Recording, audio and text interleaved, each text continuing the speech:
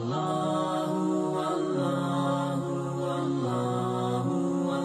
Sister نے قربانی سے متعلق سوال کیا ہے کہ پہلے ہمیں یہ معلوم تھا کہ گھر کا سربراہ ہی قربانی دیتا ہے، اس پر لازم ہے، لیکن بعد میں پتہ لگا کہ ہر بالغ پر ہوتی ہے۔ تو کیا ہر بالغ قربانی دے گا؟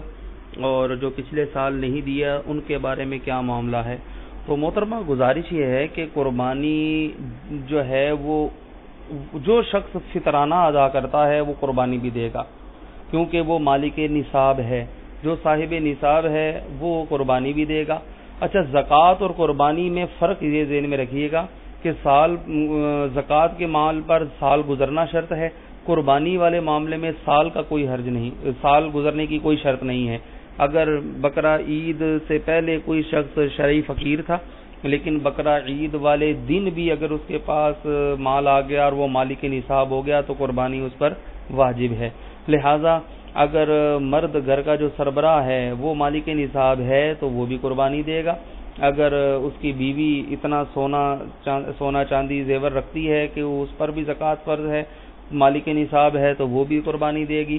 اور پھر ان میاں بیوی کے جو بچے ہیں، اگر تو وہ بچے پڑھ رہے ہیں، ان کی زیر کفالت ہیں۔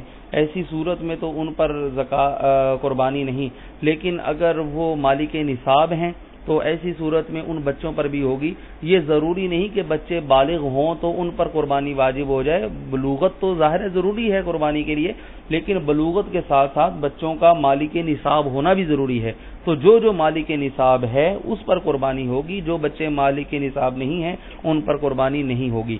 اور جو گزشتہ سالوں میں قربانی واجب تھی، لیکن جو لوگ نہیں کر سکے اپنی لا علمی کی بنا پر، تو اب اتنے پیسے وہ اللہ کی راہ میں صدقہ کریں۔ اور یہ پیسے مطلب جو ہیں، وہ ان پر واجب ہیں کہ وہ شریف فقراء کے حوالے کریں۔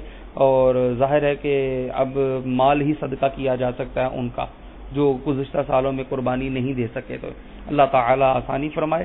جزاک اللہ خیر اچھی بات دوسروں تک پہنچانا سب کے جاریہ ہے۔ ویڈیو زیادہ سے زیادہ شیئر کیجیے